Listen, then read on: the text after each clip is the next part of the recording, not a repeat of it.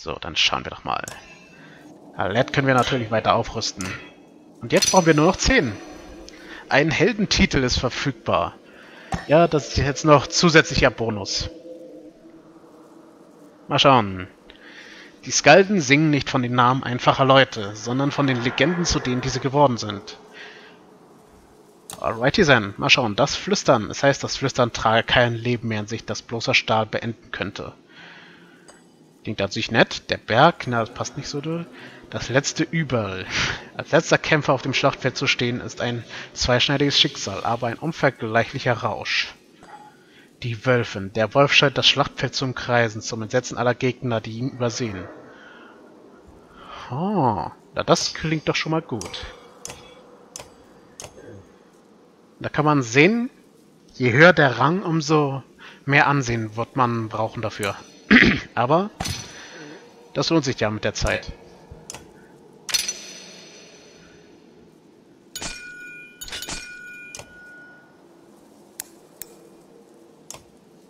So. Das sollte reichen.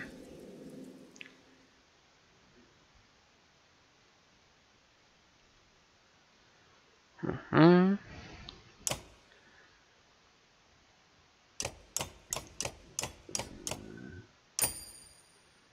Ja, nicht ganz so viel, aber wird schon klappen.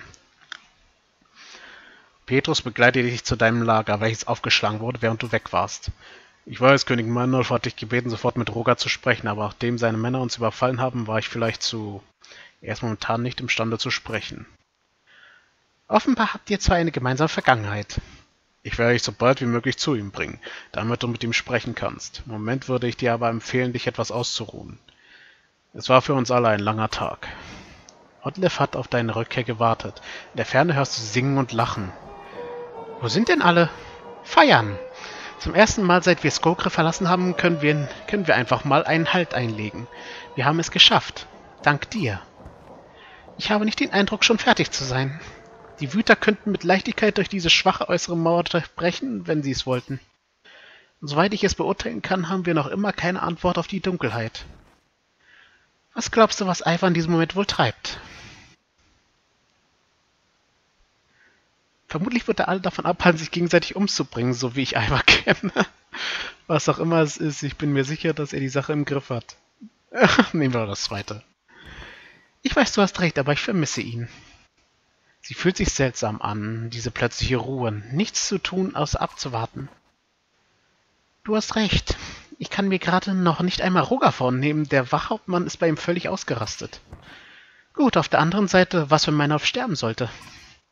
Rogers Loyalisten, die Pferdebürtigen, der Machtkampf. Da werden die Leute in dieser Stadt möglicherweise bald aufeinander losgehen. Je stärker wir uns bemühen, das, diese Welt festzuhalten, umso schneller scheint sie uns aus den Fingern zu gleiten. Wir können den Lauf der Welt nicht aufhalten, Alette. Wir können nur versuchen auszuharren.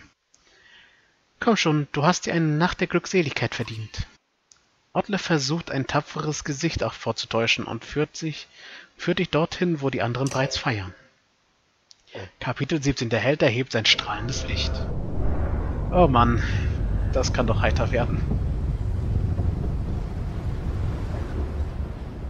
Nun Manahar.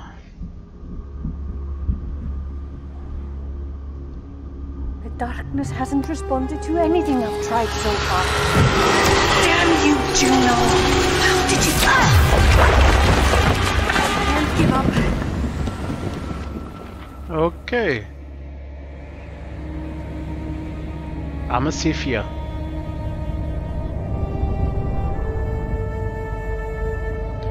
Oha. Ivar und die anderen sind schon bis zu Strand. Na dann. Da, wo die ganze Saga angefangen hat.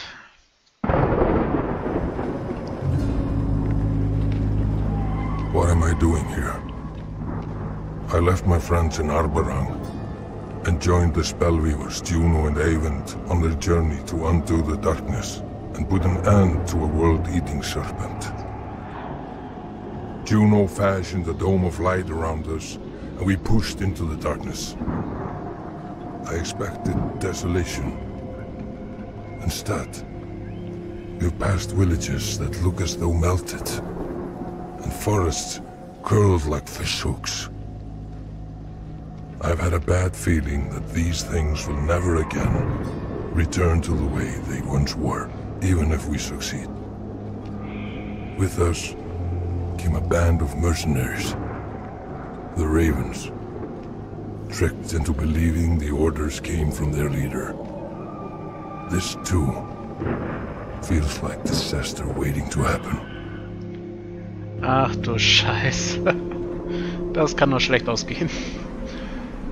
Du musst dich jetzt darum kümmern, Juno.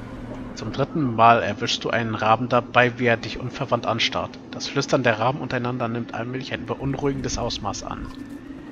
Noch nicht, bald.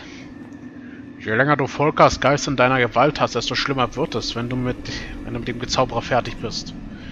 Die Raben, die du mitgebracht hast, sind abgebrühte Söldner. Es wird ihnen gar nicht gefallen, entführt zu werden.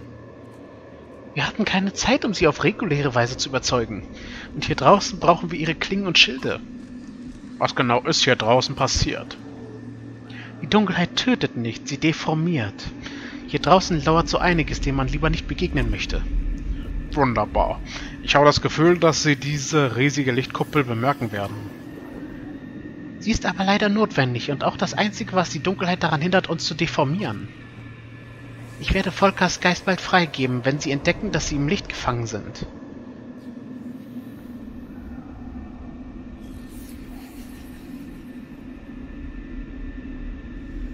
Gib mir kurz vorher nur Bescheid. Das wird kaum zu übersehen sein. Was ich getan habe, ich weiß, wonach es aussieht. So hatte ich es mir nicht vorgestellt. Bitte, Ivar, schenk uns noch ein wenig länger Vertrauen. Bring es einfach in Ordnung. Glaub mir, wir versuchen es. Oh Mann, oh Mann. Ich glaube, wir werden einen ordentlichen rechten Haken von Folge abkriegen, wenn sie aufwacht.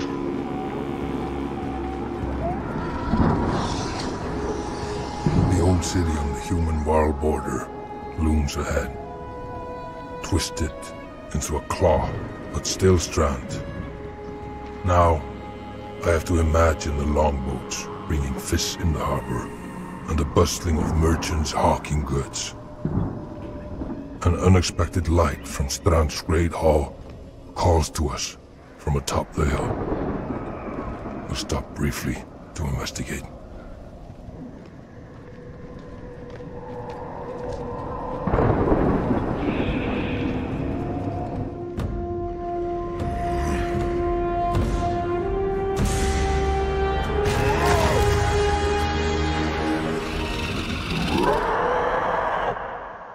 Supi.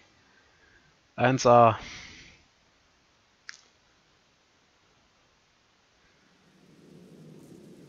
Ja, man merkt schon, es sind sehr viele neue Gesichter hier.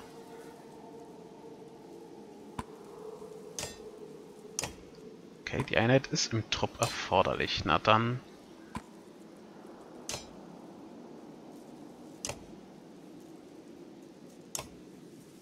Ja, man kann Ivan noch aufrüsten. Super. Naja, hier kann man nicht wirklich was machen. Mal schauen. Alles erzittert vor dem Berg, der über das Schlachtfeld schreit und eine Schneise Verwüstung hinterlässt. Ja, das klingt doch Ivar. Und wir können uns gar nicht leisten.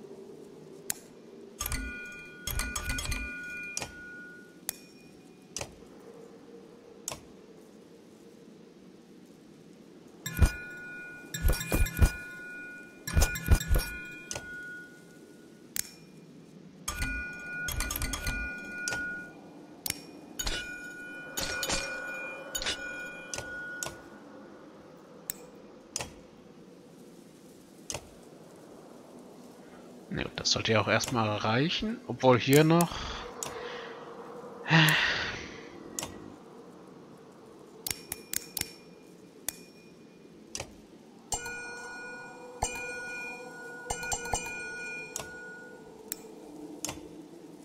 So.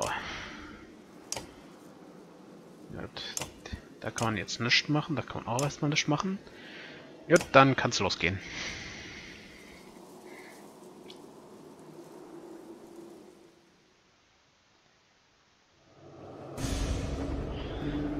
Mann, das wird ja ein toller Fight werden.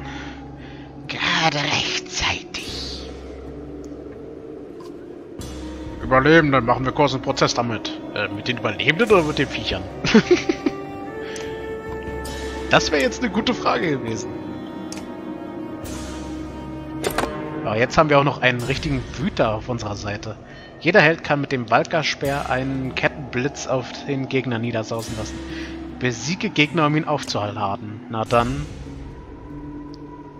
Versuchen wir mal unser Glück. Attacke! Und hat nicht ganz geklappt. Oh. Aber danke!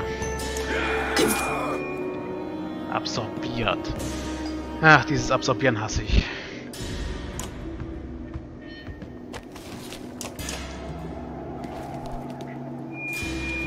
Kommt neue, ihr kleinen Schweinchen.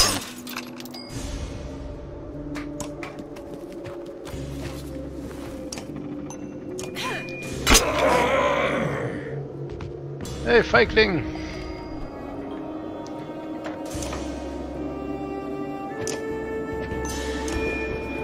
Ach, nach Bersten. Sagen wir mal dafür, dass die richtig schöne Schmerzen haben. Wow.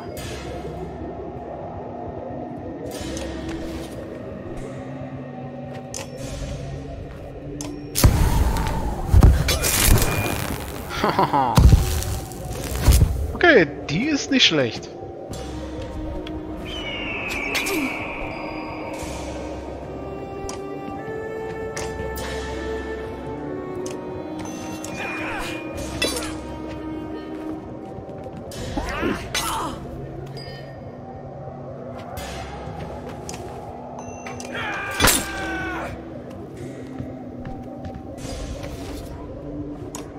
Los, Ivar. Zeig denen, was eine ist.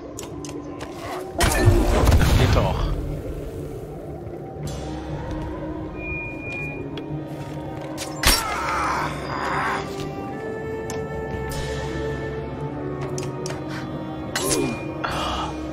Immer dieses Absorbieren.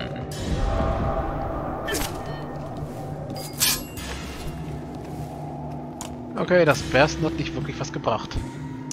Versuchen wir es mal damit. Haha, geht doch.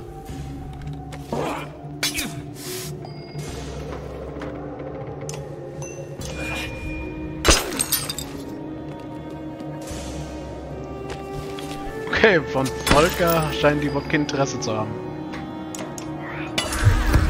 Geht doch.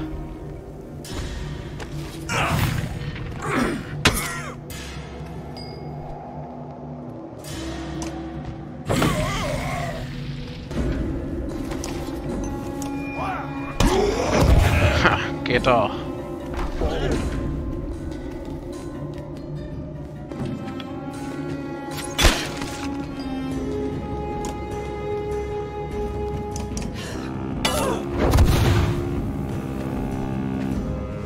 Ach, jetzt sind nur die zwei da. Ach, jetzt habt ihr plötzlich Interesse an Volker, sieh einer an.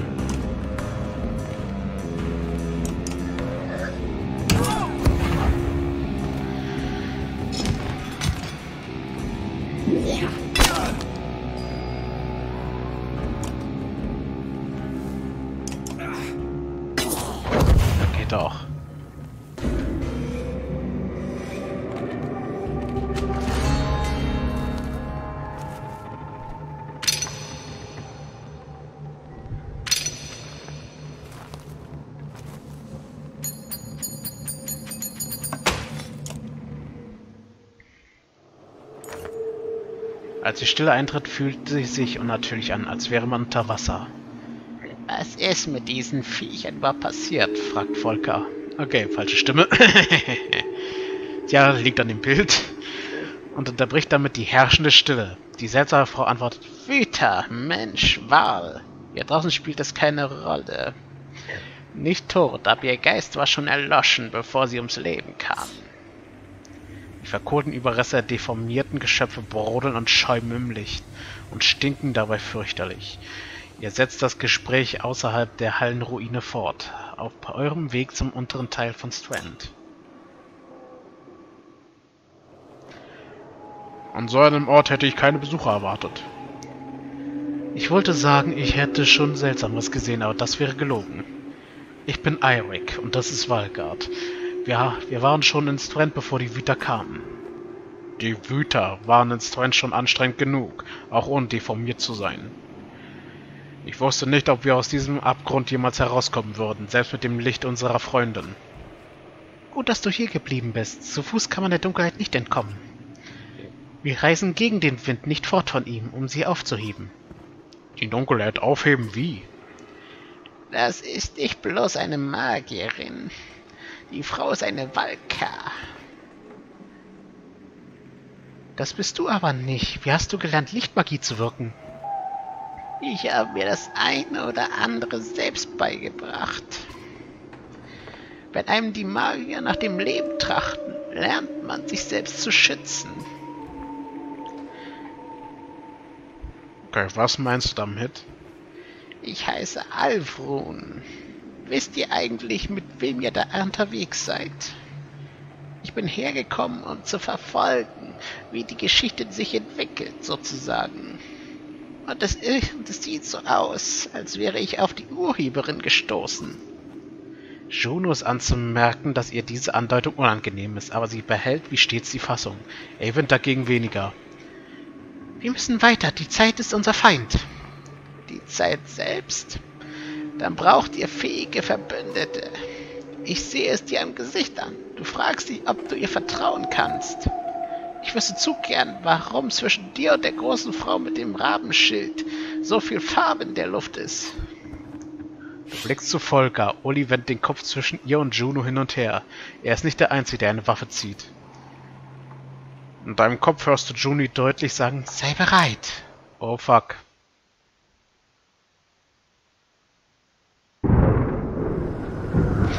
Ja, das könnte jetzt unangenehm werden. Volker schaudert und greift sich an den Kopf. Wo, wo sind wir? stöhnt sie von Junes Zauber befreit.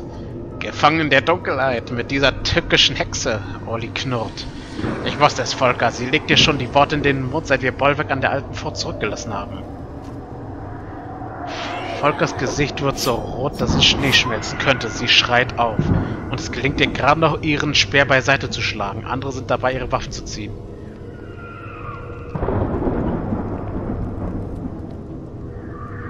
Äh, die Rahmen einschüchtern. Wer will als erstes, brüllst du. Sie scheuen vor deiner Wildheit zurück, aber noch mehr vor dem Knistern der Blitze Avens hinter dir. Eine samtige Benommenheit überfällt die ganze Gruppe. June sagt, wenn diese Welt überleben soll, werden alle, werden alle gebraucht. Volker kämpft gegen die Müdigkeit an. Wer schert sich denn einen feuchten Kehricht um die Welt? Aber sie rührt sich nicht. Niemand bewegt sich. Volker sinkt in sich zusammen. Wenn das alles vorbei ist, werden die Raben bekommen, was sie verdienen. Verlasst euch drauf. Oh, Sischbar. Habt ihr das gehört? Oh, fuck. Jetzt kommen schon wieder Gegner. Yep. Supi. Ist ja noch nicht beschissen genug. Diese Dinger sind einfach aus dem Nichts gekommen. Wir müssen zusammenhalten, wenn wir überleben wollen. Na, supi. Gut, aber dieses Gespräch ist noch nicht zu Ende. Wellenkampf. Die Legion der Deformierten greifen oft in Wellen an. Nach der ersten Welle kannst du kämpfen oder fliehen. Besiegst den Boss der letzten Welle, erhältst einen nützlichen Gegenstand. Ah ja. Das heißt, wir haben 40 Runden, um diese Typen fertig zu machen. Alrighty then. Versuchen wir unser Glück.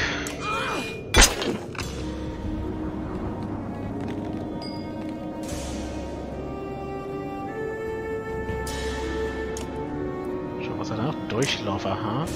Aber wir versuchen mal Axtsturm. Haha! Geht doch! Da klatscht sogar der alte Wanderer.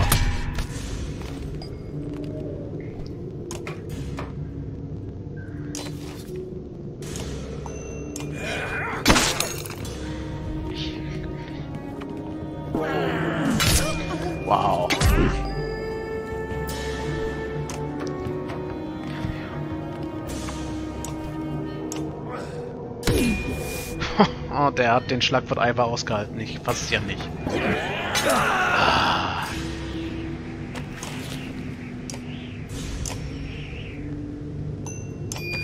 Los, Blitze!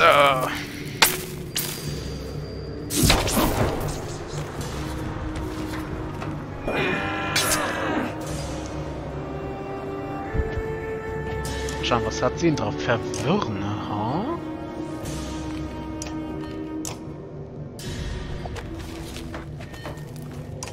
Der wird nicht verkackeiern.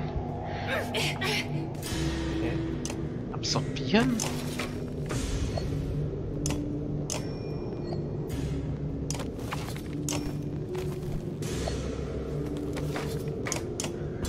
Okay, das kapiere ich jetzt nicht gerade.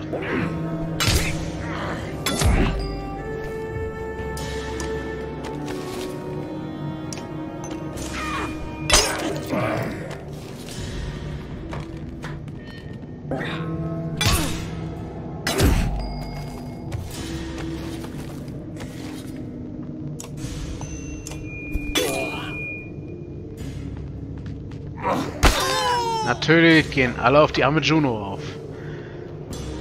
Ach, Mann.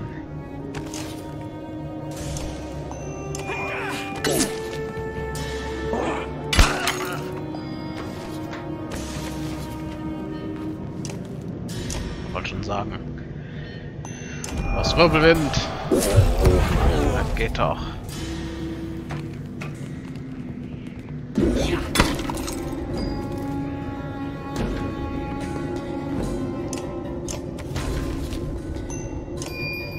Aus Blitze!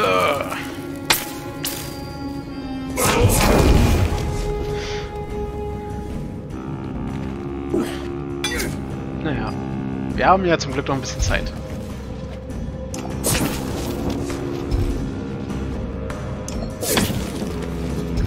Ja, der Walker-Blitz macht nicht wirklich viel Schaden.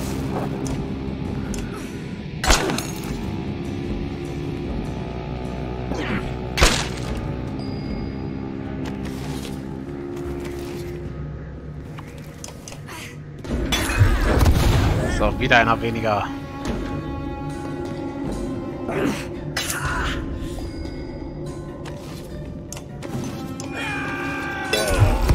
Na, geht doch.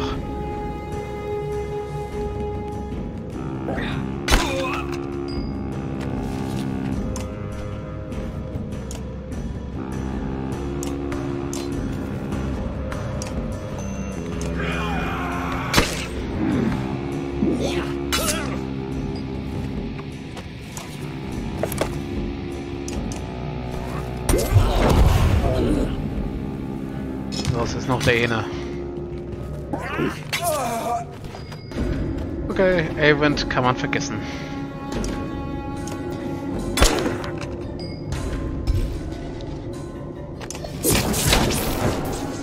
Okay, das ist genau so ein Kack wie... Kack wie Avens Zauber. Na. Juno hat's erledigt.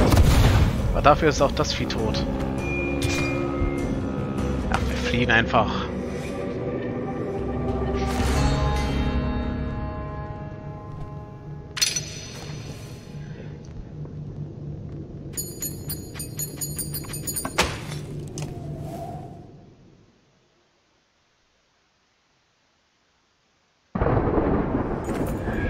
Der Kampf endet so abrupt wie er begann und es kehrt wieder eine beunruhigende Stille ein. Hier sollten wir lieber nicht lange herumhängen, bemerkt Valgard und putzt Asche von seinem Schwert. Du blickst fragend zu Juno. Das war kein bloßer Zufall. Vielleicht hatte dein ganzes Geschrei etwas damit zu tun. Nein, das war organisiert, strategisch. Es kam mir ein bisschen zu bekannt vor. Also wenn wir das Spiel mitspielen sollen, du Oberhexe, dann wird es Zeit für Erklärungen. Wir gehen nach Krathorn. Dort finden wir einen geheimen Weg, eine Abkürzung zu unserem Ziel. Nämlich dorthin, wo die Dunkelheit begann. Wie wäre es mit ein bisschen mehr... Moment, erwartet ihr jemanden? Ihr alle seht es am Horizont. Eine imposante Erscheinung, ganz in Weiß gehüllt, führt eine Legion von Deformierten an. Das kann nicht sein. Bollwerk?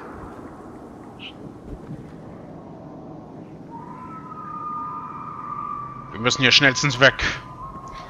Damit bin ich einverstanden. Dann werden wir uns euch wohl anschließen. Wie konnte sich, wie konnte sich die Lage nur so verschlimmern? Wo sind die anderen Valkar? Eben und ich waren in Manahar. Bolver kam dorthin, um sich an uns zu rächen. Und nahm uns so jede Möglichkeit, mit den anderen Valkar zusammenzuarbeiten. Für mich sah es eher danach aus, als hätte Avon völlig den Verstand verloren. Juno blickt kurz zur Seite und fährt dann fort. Die Finsternis kommt, aber rang jeden Tag ein Stück näher. Ich fürchte, dass, ihr, dass sie ihr schutzlos ausgeliefert sind. Warum stehen wir dann hier herum? Graton liegt mehrere Tagesreisen von hier.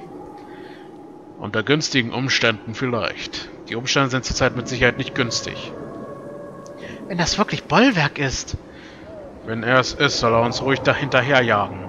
Das würde ihn wenigstens von Abrang fernhalten. Sie haben schon genug Probleme. Ja, das mal sicher. Ach, die See ist noch immer tot. Okay. Uh, oh, die Finsters kommt wirklich immer näher.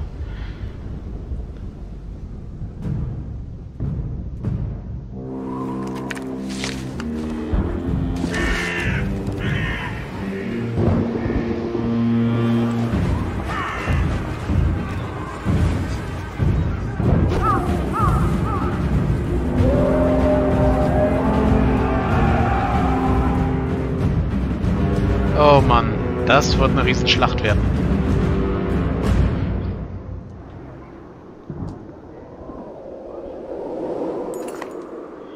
Das wird kein friedliches Ende nehmen, sagt Petrus und lässt den Blick über die sich windenden Wüter schweifen, die zwischen der Stadtmauer von Abrang und der Dunkelheit in der Falle sitzen. Ein Tier ist am gefährlichsten, wenn man es in die Enge treibt. Hat sich die Lade jetzt wirklich verbessert? fragt du dich laut. Petrus schüttelt den Kopf. Eigentlich nicht. Es gibt, es gibt noch immer böses Blut wegen der Flüchtlinge und es geht um mehr, als es den Anschein hat. Apropos, fügt er hinzu, Rucker redet. Ich denke, es ist Zeit, dass du ihn dir vorknöpfst. Nicht ohne mich, sagt Ortlev. Der Mann ist sogar an eine Wand gekettet noch gefährlich. Und die Ordnung erhalten wir am besten aufrecht, wenn der König in Sicherheit ist, sagt Petrus und fügt hinzu. Wir brauchen das Gegenmittel. Geh und möge das Glück auf deiner Seite sein. Ja, aber hier mache ich jetzt erstmal Schluss. Also bis zum nächsten Mal. Tschüssi.